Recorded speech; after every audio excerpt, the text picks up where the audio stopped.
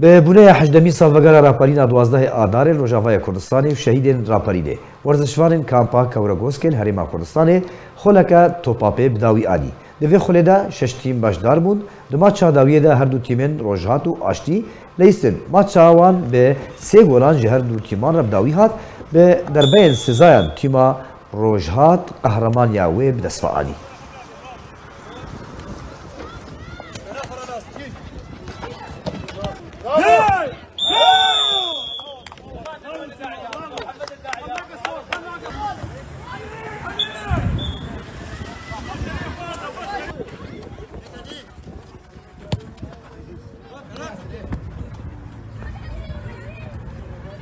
Woo!